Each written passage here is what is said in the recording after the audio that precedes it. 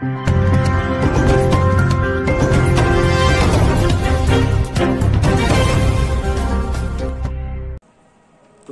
ವರ್ಷದಂತೆ ಈ ವರ್ಷವೂ ಸಹಿತ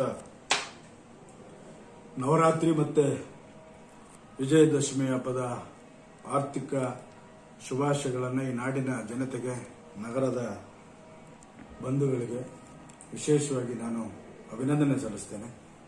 ಇವತ್ತು ದಸರಾ ಮತ್ತೆ ನವರಾತ್ರಿ ಕೊನೆಯ ದಿವಸ. ಕೊನೆಯ ದಿವಸ ಆದರೂ ಸಹಿತ ಇವತ್ತು ರಾಜ್ಯದಲ್ಲಿ ಮಳೆ ಅನೇಕ ಕಡೆ ಆಗಿದೆ. ಸಂಕಷ್ಟದಲ್ಲಿ ಮಳೆಯಿಂದ ನಲುಗ್ತಾ ಇದ್ದಾರೆ. ಅವರಿಗೆ ಒಂದು ಶಕ್ತಿ ಮತ್ತೆ ಅವರಿಗೆ ಒಂದು ಆ ನೋವನ್ನು ಒಂದು ಆಗಿರ್ತಕ್ಕಂಥ ಮಳೆಯ ಅನಾಹುತವನ್ನು ತಡೆಯುವಂಥ ಶಕ್ತಿ ನಾಡದೇವತೆ ಕೊಡ್ಲಿ ಅಂತೇಳಿ ನಾನು ಮೊದಲನೇದಾಗಿ ಪ್ರಾರ್ಥನೆಯನ್ನು ಮಾಡ್ತೇನೆ. ಅದರಿಂದ ಹೊರಬರಬೇಕು ಅವರು. ಬಂದ್ರೇನೆ ಒಂದು ನೆಮ್ಮದಿಯಾಗಿ ನಗರದ ಜನತೆ ಇರ್ಬೋದು, ರೈತಾಪಿ ವರ್ಗ ಇರ್ಬೋದು ಎಲ್ಲರೂ ಅಸನ್ಮುಖರಾದ್ರೆ ಬೆಂಗಳೂರಿನ ಜನ ನೆಮ್ಮದಿ ಇರೋದು ಸಾಧ್ಯ ಅಂತ ಒಂದು ಸಂದರ್ಭದಲ್ಲಿ ಮತ್ತೊಮ್ಮೆ ಅವ್ರನ್ನ ಒಂದು ಏನು ಮಳೆಗೆ ಅನಾಹುತ ಆಗಿದೆ ಆ ಅನಾಹುತವನ್ನ ಇದರಿಂದ ಬೇಗ ಹೊರಬರಬೇಕು ಸರ್ಕಾರ ಈಗಾಗಲೇ ಸನ್ಮಾನ್ಯ ಮುಖ್ಯಮಂತ್ರಿಗಳು ಬೆಂಗಳೂರಿನಲ್ಲಿ ಎಲ್ಲೆಲ್ಲಿ ಫ್ಲಡ್ ಆಗ್ತಾ ಇದೆ ಅಂತ ಭಾಗದಲ್ಲಿ ಇಪ್ಪತ್ತೈದು ಸಾವಿರ ರೂಪಾಯಿ ಕೂಡಲೇ ಕೊಡಬೇಕು ಅಂತ ಮಾನ್ಯ ಮುಖ್ಯಮಂತ್ರಿಗಳು ಆದೇಶ ಮಾಡಿದ್ದಾರೆ. ಅಂತ ಒಂದು ಸಂದರ್ಭ ತಕ್- ತಕ್ಷಣ ಪರಿಹಾರ ಕೊಡುವಂತ ಕಾರ್ಯ ಯಾವ ಹಿಂದೆ ಸರ್ಕಾರದಲ್ಲೂ ಆಗಿಲ್ಲ. ಈ ಒಂದು ಭಾರತೀಯ ಜನತಾ ಪಾರ್ಟಿ ನೇತೃತ್ವ ಸರ್ಕಾರದಲ್ಲಿ ಆಗ್ತಾ ಇದೆ.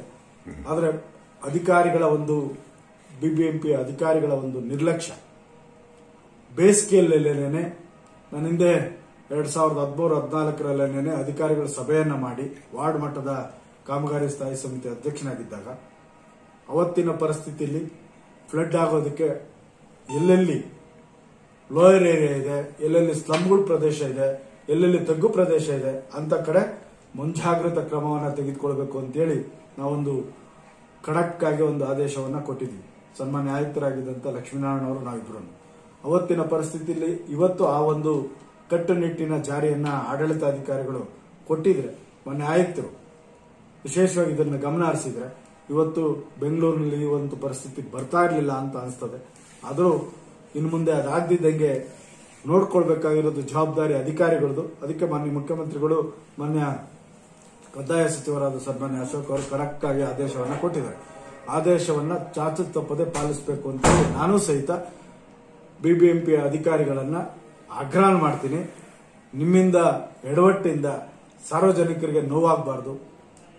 ಆಸ್ತಿ ಪಾಸ್ತಿ ನಷ್ಟ ಆಗಬಾರ್ದು.